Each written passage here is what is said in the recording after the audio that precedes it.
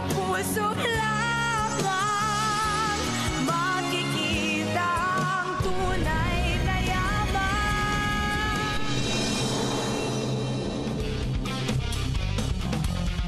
Go Tape!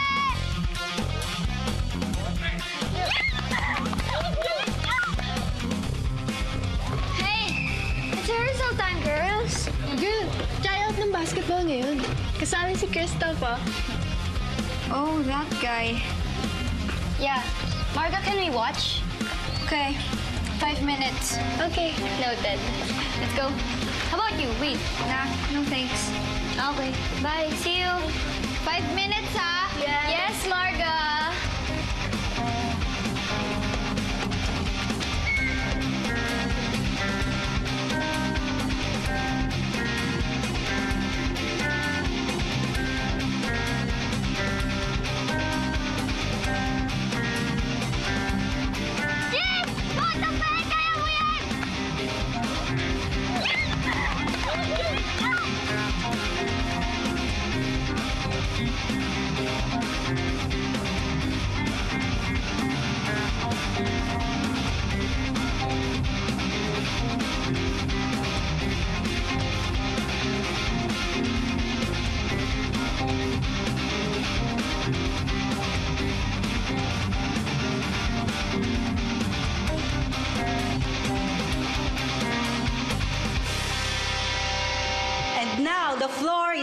Open for nominations for president.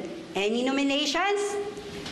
I would like to nominate Miss Daniela Mondragon Bartolome as president. Daniela Mondragon has been nominated. I now declare the nomination closed. Uh, wait a minute. Excuse me. Hindi na ba kayo magtatawag ng ibang nominees?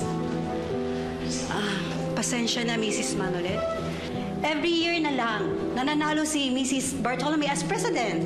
Eh, yun na nga eh. Sanay na tayo na siya lagi ang PTA president. Eh, wala naman siya nagagawa. At all. Excuse me. How dare you say that? I have been PTA president long before pumasok ang anak mo dito. Actually, she's right, Daniela.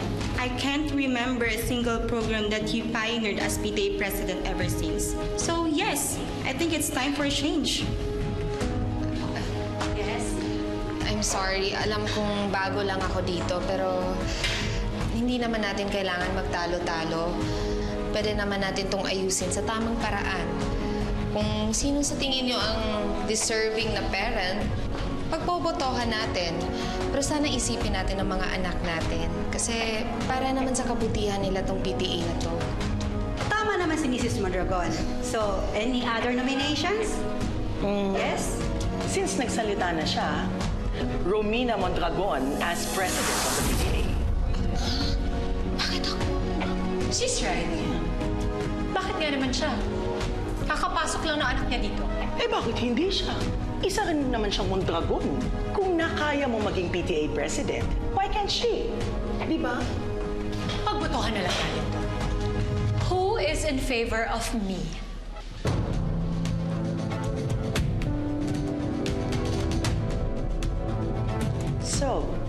Alam na natin kung sinong nanalo. I now officially declare Mrs. Romina Mondragon our last PTA president for 2018-2019.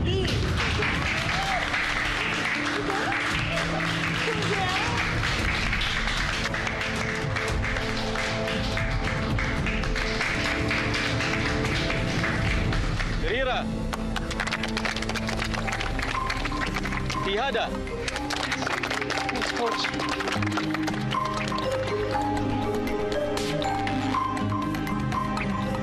Stick mo, bro. Sabi ko na nga ba, sure ball ka na kanina eh. Ang galing mo. Hindi naman. Hindi. Kitang-kita nga eh. Halos lahat ng girls sa paligid. Kilig na kilig sa'yo, bro. Instant heart drop ka. Oo nga eh. Pati nga si Cassie tsaka yung pats niya very supportive sa'yo.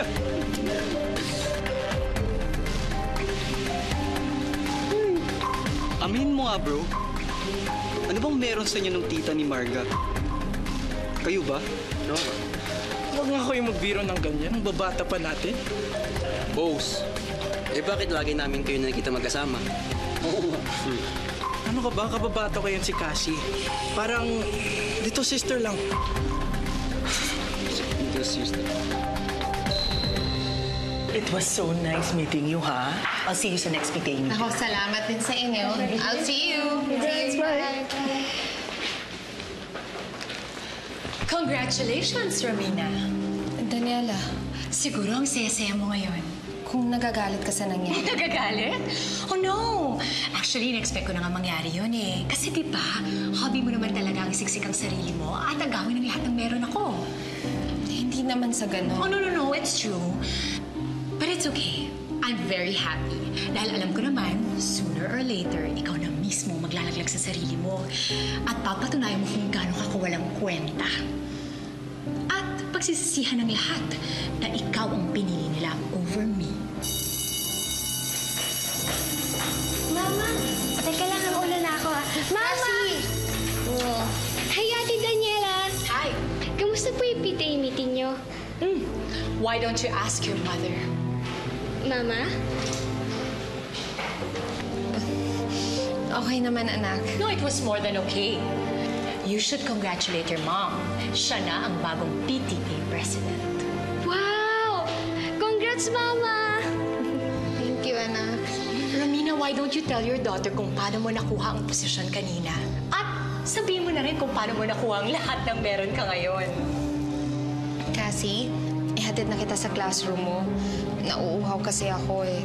Meron kasi akong nakain na sobrang mabait kanina sa PTA. Um, let's go? Happy, Ate Daniela! Bye! See you.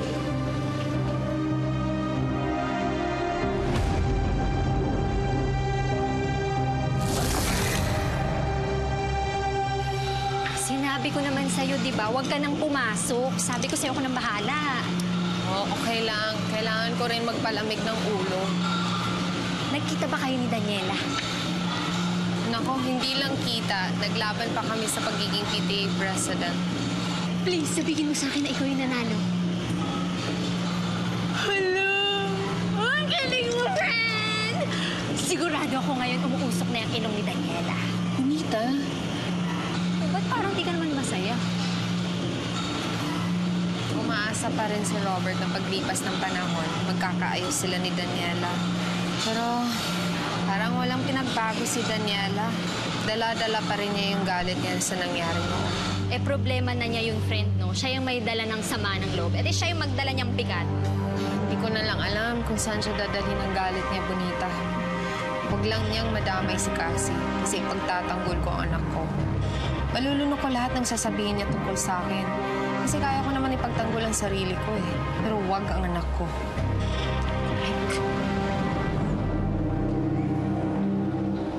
She thinks I'm bitter? I'm not.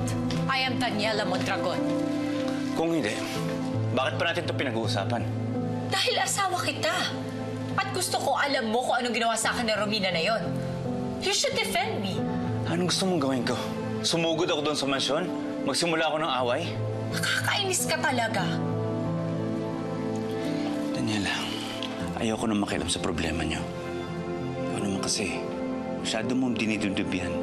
At isa pa, wala naman nawala sa'yo eh.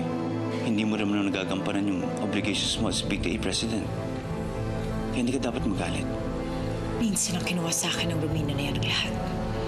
I won't let that happen again.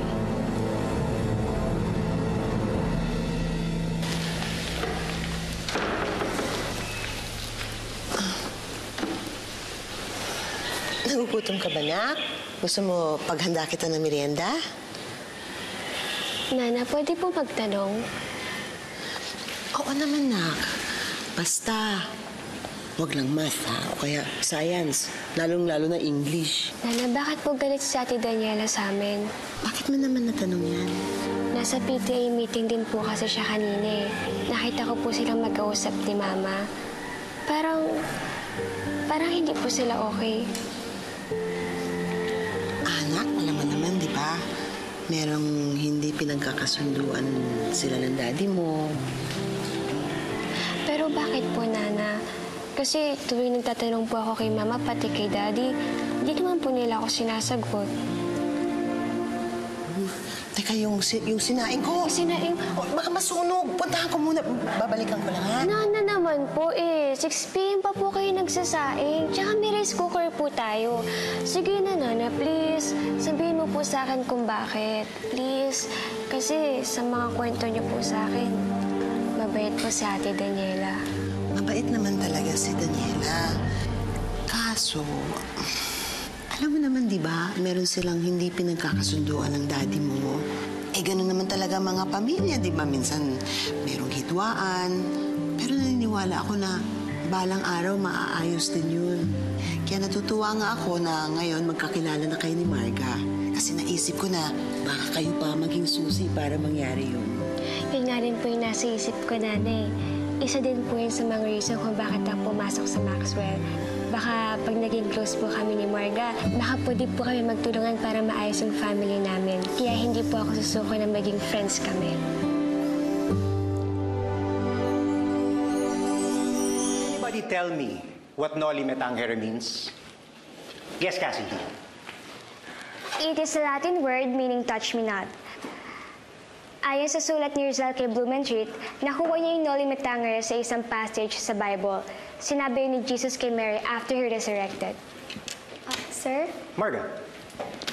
etymology aside, sir, I think Noli Me Tangere symbolizes a need for distance because you feel unfulfilled, tulad ng pagmamahalan ni Ibarra at ni Maria Clara. For me, hindi po anti-clerical ang Noli. Kung mapapansin nyo, he never criticized them sa novel. Ina-expose lang nila yung mga pang-aabusong ginawa nila nun nung mga panahon na yon. Interesting point. Marga? Noli Me Tangere was originally written in Spanish, primarily because he wants to target the attention of Spanish authorities. Sila ang unang makakabasa nito, kaya gusto niya malaman kung ano nangyayari sa atin as their colony. Hoping na sana maayos sila yung sistema. Pero para po sa akin, hindi revolutionary ang Noli. Rizal was a reformist. He made it clear sa novel nang patay niya si Elias, the character who symbolizes revolution. Class, do you all agree with this? No, sir. Marga? Just because we're talking about revolution, it doesn't necessarily mean that it is violent. Nolly criticizes friars during their time. And for me, that's enough to be revolutionary. Very good, Marga.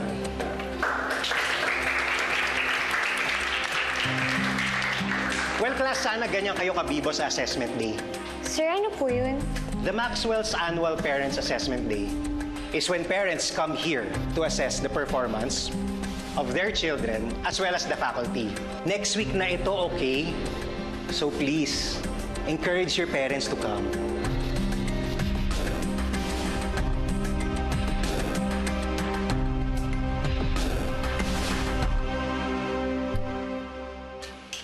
Ito, pandagdag po na dun para sa Bayad Center na gusto niyo tayo. Salamat, kuya. Sensya ka na. Babalik din namin to kagad. Pasensya ka na, kuya. Maliit lang yung sweldo ko eh. Tsaka mapili talaga si tatay. Mas mabuti na rin yung may negosyo, Gino, para meron kang pinagkakakitaan ng konti. Kesa naman yung umaasa ka lang sa mga audition tsaka dance contest na sinasalihan mo. Oh, ne- next week, tapos na yan. Kuya, salamat po. Oh, Carlos, napadaan ka. Oh, ito na ba yung hinihingi ko sa yung pampuhunan? Oo, tay. Ikaw naman, Gino. Ito pera. Bumili ka ng pamirienda ng kuya mo. Sige na. Bili mo na ako. Sige. Sige tayo. Tama na. O, sige. Opo ka, opo ka. Kumusta si Marga? Mabuti naman po. Nag-usap kami noong nakaraan at ah, nabanggit sa akin ng bata na nagkita daw sila ng anak ni Romina. Ah, oo. Nag-usap pa ba kayo? Oo, si Sir Robert lang ho yung nakausap ko. Gumagawa pa rin kasi siya ng parang para makausap si Daniela. Bakit? Tutulungan mo? Wala naman ako nakikitang masama doon. Basta maayos ang pamilya ko, wala akong nakikitang mali doon, tay. Ah, sa akin naman eh, wala yan kung tutulungan mo o hindi. Ang mahalaga sa akin ay wala ka nang nararamdaman kay Romina. Oh. Tayo naman, may kanya-kanya na kaming buhay. Saka tagal na simula na naging kami ni Romina. Naninigurado lang ako, anak. Ayoko lang na makagawa ka ng makasira ng pamilya mo. Tayo, hindi niyo ako kailangan pagsabihan. Alam ko yung ginagawa ko. Magkano itong binigay mo? Salamat, ha?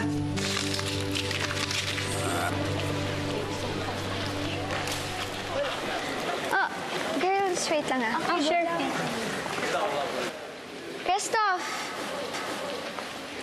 Ah, alam ko hindi pa tayo masyado nag-uusap, but I'm Marga. Ano?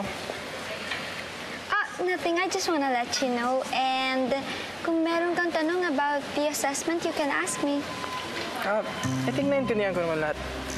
Um, I have back basketball practice.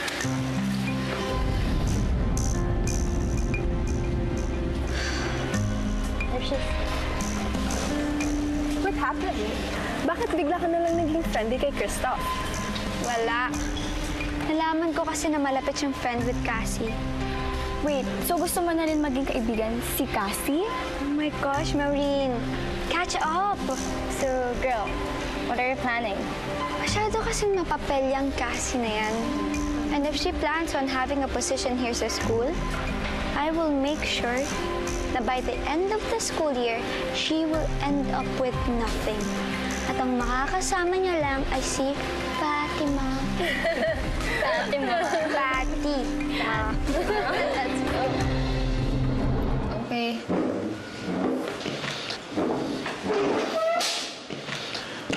Done? Ready to go? Yeah, ah, tapusin ko lang to. Wow. Hindi ko may imagine na ganito nakalaki ang Camila brand. You.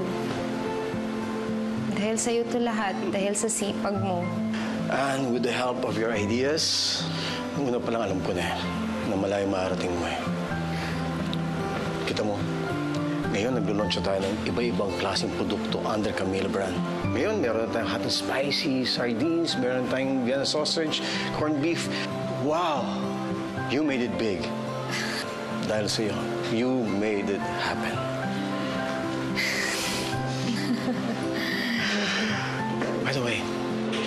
I heard about what happened sa PTA. Robert, I'm so sorry. Hindi ko gustong kalabanin si Daniela. Alam mo naman ang gusto kong magkaayos kayo. Don't worry. You want it fair and square. You don't have to apologize. Sana lang naintindihan niyo ni Daniela. Anyways, let's go. Naantay na tayo ni Cassie. Yeah. Sir, buti na abutan ko po kayo. Ito na po Oh. yung pinagagawa niya sa akin. Finally. Sige po, sir. Okay, thank you. Okay po. Ano yan? Wow. Wow. Competitor analysis ng bagong produkto sa market. Mas mura at mas maraming laman. Ito yung dapat natin bantayan. Mukhang dito tayo mahihirapan. Kahit gaano pa yan kahirap, kaya natin yan. Magtutulungan tayo. Magkasama natin harapin, katulad lahat ng pinagdaanan natin dati. Ang gusto ko sa'yo eh. Positive thinker. Let's do it. Bring anything? No.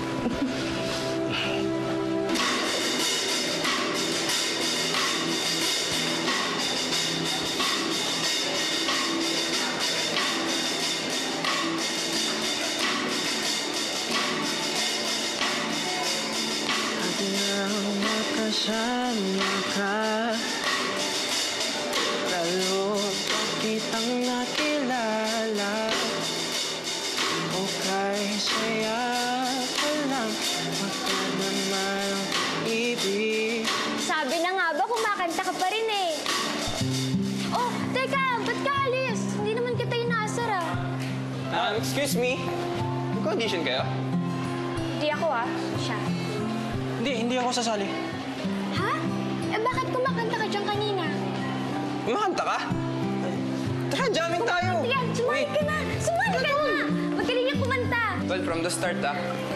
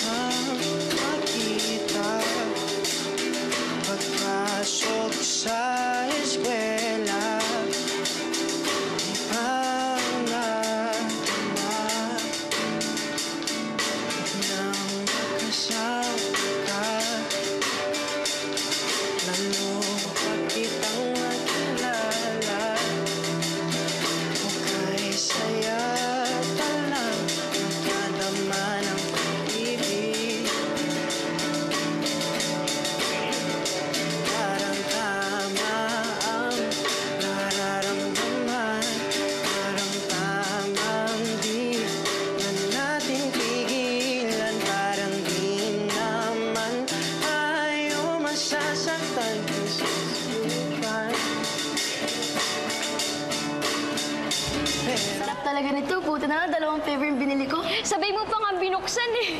Pauwi ka na ba? Naantay ko lang si Mang Rene. Sama na kita. Fatima! How dare you? Sorry, Marga. Sorry? Dapat kasi hindi pa na pagkain ang inaatupag mo para makita mo yung dinadaanan mo. You are so disgusting. Marga, mo siyang pagsalita ng masama. Pinagtatanggol mo siya? You know what, Cassie? You should just leave. Hindi mo to laban. Hindi. Hindi ako aalis dahil kaibigan ko si Fatima. Oh, I get it. Ginagantihan niyo kong dalawa. Plinano niyo to eh, no? Dahil pinahiya kita kanina sa recitation. Marga, hindi ako nakikipag-compete sa'yo. No. Threatened by me dahil alam mong mas magaling ako kaysa sa'yo. But you will never beat me. Loser. Loser. Loser. Tama na, Marga. Please. Shut up, Fats! Fats! Marga! Daddy! Ano to?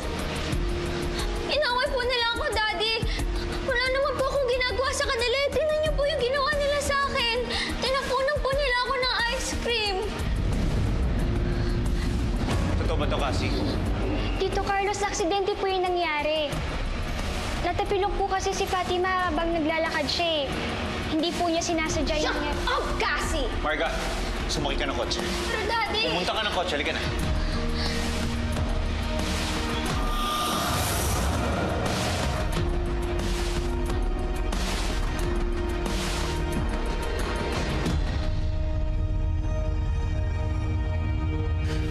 Ginawa ni Marga yun? Opo, Nana. Yung totoo nga po niyan, lagi niyang inaaway si Fatime. Sila po ng mga kaibigan niya. Alam kaya to ni Daniela? Hindi ko po alam, Nana. Pero wag mo pong sasabihin to kay Mama, ha? Lalong-lalo na po kay Daddy. bakit naman? Gusto ko po kasi magkabati sila ni Ate Daniela. Baka mas lalo lang po magkagulo. Paano na yan?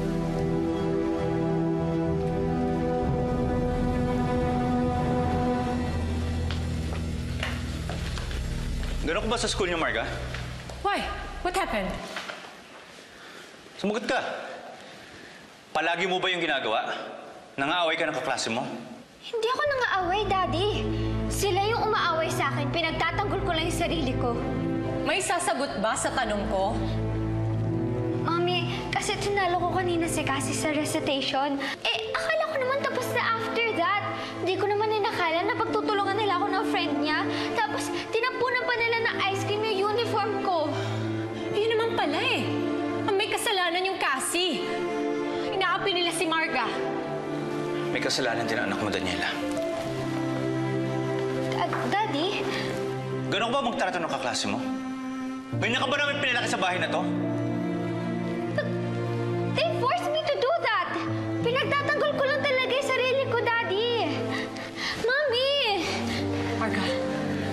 To your room. Mag-usap kami ng daddy mo. Go, go. Marga!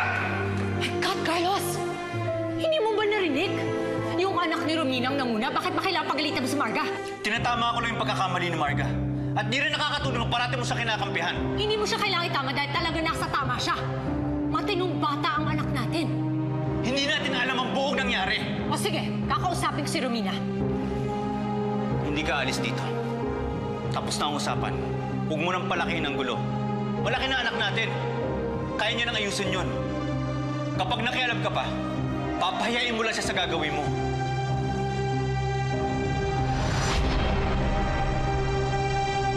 Neil, ang galing-galing ng marketing team nyo, ha? Maganda yung presentation nyo. Tama si Romina. Nakausap ko yung department head nyo. And he said so many good things about you. Ay, si boss po talaga. Thank you.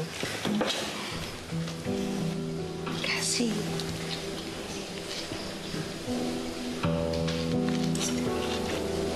Bakit kayo nagbubulungan? Cassie? Mama? Daddy? Sorry po. Nag-away po kami kasi ni Marga eh. Huh? What happened? I hate her, Mommy. I hate Cassie. Now, Marga, tell me, what really happened? Gusto kong malaman ng totoo. Mom. Ano ba talaga nangyari sa inyo ni Cassie? Yung totoo. Aksidente pong natapunan ni Fatima ng ice cream yung bag niya. Ayaw pong maniwala ni Marga, kaya ayun po, pinagtanggol ko lang po si Fatima. My gosh, I'm so proud of you, Cassie. Finally. Neil, ano ba? Ate, masaya lang ako. Pinagtanggol niya yung friend niya. She's really beautiful with a cause. Cassie. Mama, sorry po. Cassie, you don't have to say sorry. Walang mali sa pagtatanggol ng kaibigan. Anak, gusto mo bang kausapin ko teacher mo? Mama, wag po. Kaya ko naman pong kausapin si Marga. Cassie. Please, Mama.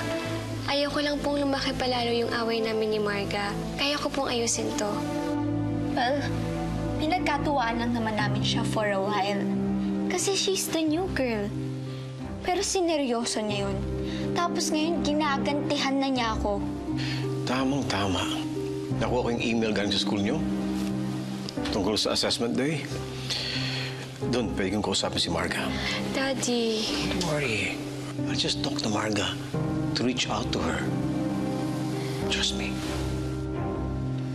But you know what to do, right? Yes, Mommy. I am a Mondragon. I fight and I always win. That's my girl. Now, don't ever lie to me. Dahil paano kita matutulungan kung hindi mo sa akin sasabihin ang totoo?